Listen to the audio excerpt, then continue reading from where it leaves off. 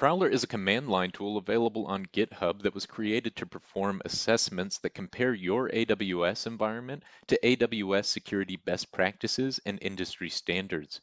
There's a wealth of information on that GitHub page. The creator of Prowler has implemented these AWS CIS benchmarks in groups 1, 2, 3, and 4, and has integrated that into his toolset.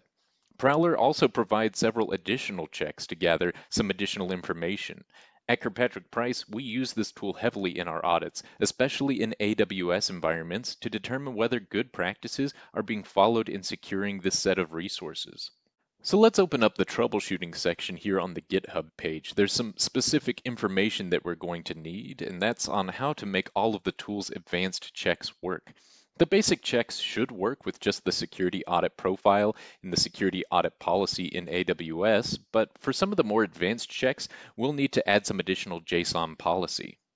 So we're going to grab all of this information here, and we're going to copy this to our clipboard.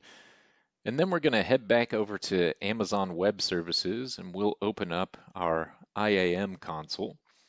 And then we're going to create a new policy. And then in that policy, what we're going to do is we're going to take all of that code and paste it in right here. And then we're going to review that policy.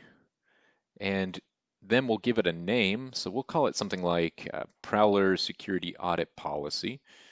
And then we're going to create the policy and we should be good to go. Next, we want to make a role specifically for our EC2 instance where we're going to run this from. If we use an EC2 instance role, then we won't need to put those AWS access keys and create a security hole for any bad guys to come in and take all of our stuff.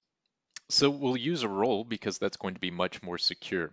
We're going to create an EC2 role specifically. So let's go ahead and grab the security audit policy. And then let's go ahead and also grab our freshly made Prowler security audit policy. So we're going to add both of those to the role and click next and then review and now we can name our role something, and we want to name it something unique. So let's call this our EC2 Prowler role. And then we're going to go down and create that role and apply it. And then we have success. Uh, and so now uh, we've provisioned our EC2 instance with the necessary roles here. So now we have properly provisioned our EC2 instance with the necessary security permissions in AWS for Prowler to work correctly. So next we're going to go ahead and install Prowler, and that's done with a simple git clone operation against the GitHub site that we were looking at earlier in this demonstration. And that's already done. So a couple of other requirements that are needed for this to work correctly include uh, installing the AWS CLI as well as the JSON query tool JQ. Uh, now, when we install those, our EC2 instances should work correctly. And that's actually already been done prior to setting up this particular demonstration, but what we just saw here was the command to install those two things.